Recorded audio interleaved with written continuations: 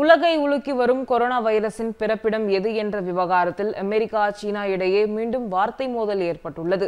இரண்டாயிரத்து பத்தொன்பதாம் ஆண்டு சீனாவின் ஊஹா நகரில் உள்ள ஆய்வகத்திலிருந்து கொரோனா வைரஸ் கசியவிடப்பட்டதாக அமெரிக்க முன்னாள் அதிபர் டொனால்ட் ட்ரம்ப் சீனா மீது தொடர்ந்து குற்றம் சாட்டி வந்தார். இது திட்டமிடப்பட்ட சதி என்றும் அவர் கண்டனம் தெரிவித்திருந்தார். இந்த விவகாரத்தில் உரிய விசாரணை நடத்தப்படும் என்றும் ட்ரம்ப் கூறியிருந்தார். ஆனால் ட்ரம்பின் இந்த குற்றச்சாட்டை சீனா திட்டவட்டமாக மறுத்துவிட்டது. இதனால் இரு நாடுகளுக்கும் இடையே வார்த்தை போர் நடைபெற்றது. இந்நிலையில் தற்போதைய அமெரிக்க அதிபர் ஜோ பைடனும் ஊஹான் ஆய்வுக்கூடத்திலிருந்து கொரோனா வைரஸ் கசிவிடப்பட்டதாக எழுந்துள்ள குற்றச்சாட்டு குறித்து விசாரித்து மூன்று மாதங்களில் உண்மையை கண்டறிய உளவு அமைப்புகளுக்கு உத்தரவிட்டுள்ளார். இதற்கு சீனா கடும் எதிர்ப்பு தெரிவித்துள்ளது.